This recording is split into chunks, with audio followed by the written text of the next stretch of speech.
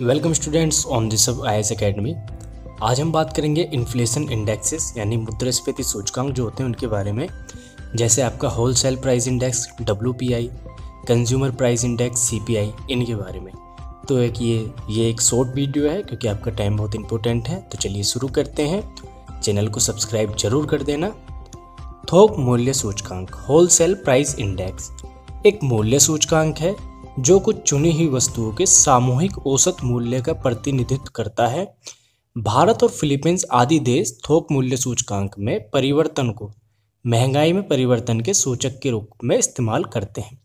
यानी कि सरकार जो भी महँगाई के लिए नीतियाँ बनाती हैं अपनी, वो थोक मूल्य सूचकांक के आधार पर बनाती है भारत जैसे देशों में। इसको बेस रखती है होल सेल प्राइस इंडेक्स को और इसी आधार पर अपनी नीतियाँ तैयार करती है।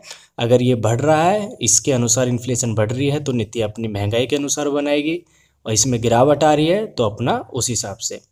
इसमें केवल वस्तुएँ शामिल होती हैं, सेवा शामिल नहीं होती। इसका जो आधार वर्ष है, वो 2011-12 है। इसका मतलब ये होता है कि हम जो अपनी इन्फ्लेशन की तुलना करते हैं, महँगाई की वो इस आधार वर्ष के आधार पर करेंगे। यानी कि अगर 2011-12 में कोई चीज़ दस रुपये की थी और अब वो दो हज़ार बीस में बारह रुपये की हो जाती है तो इसका मतलब उसमें दो परसेंट बीस परसेंट की इन्फ्लेशन आई है। तो आप समझ गए होंगे कि आधार वर्ष का क्या मतलब है 2011-12 का। 2011-12 से तुलना करते हैं। कुल वस्तुओं की संख्या इसमें है छः सौ सत्तानवे और भारांश के आधार पर इसमें जो सबसे ज़्यादा वेटेज है, वो है विनिर्मित उत्पाद। ये आपको याद रहना चाहिए। ये जी के लिए बहुत इंपॉर्टेंट होता है।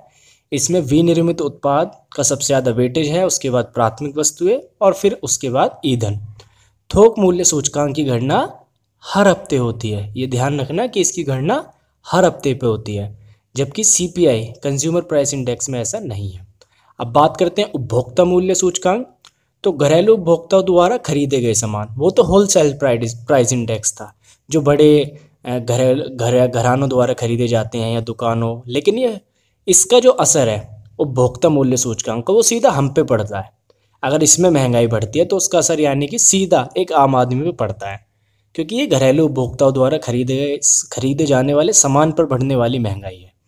तो घरेलू उपभोक्ताओं द्वारा खरीदे गए सामान एवं सेवाओं के औसत मूल्यों को मापने वाला एक सूचकांक है।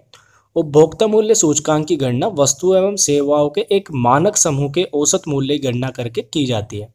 अब इसमें ध्यान रखने वाली बात यह है कि होल डब्ल्यू जो था, उसमें तो केवल वस्तुएँ शामिल थी, लेकिन सीपीआई में वस्तुएँ और सेवाएँ दोनों शामिल होती हैं।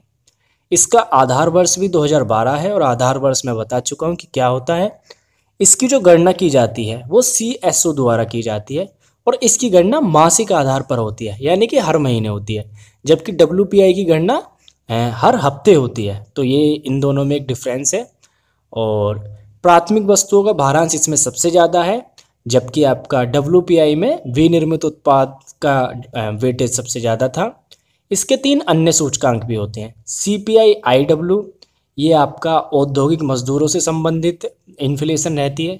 C P I A L ये एग्रीकल्चर लेबर लेबर जो होती है उससे संबंधित और C P I R L यानी कि ये जो रूरल इलाके हैं, उनसे संबंधित आपकी इन्फ्लेशन रहती है। तो ये वीडियो यहीं समाप्त होती है। आई होप आप डब्ल्यू पी आई और सी पी आई दोनों समझ गए होंगे और इनके बीच का डिफरेंस भी समझ गए होंगे।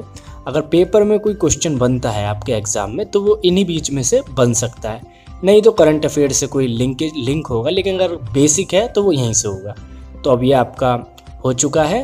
अगर आपको कन्फ्यूज़न है तो आप कमेंट कर कर पूछ सकते हैं। वीडियो लाइक करें और चैनल को सब्सक्राइब करना ना भूलें। धन्यवाद।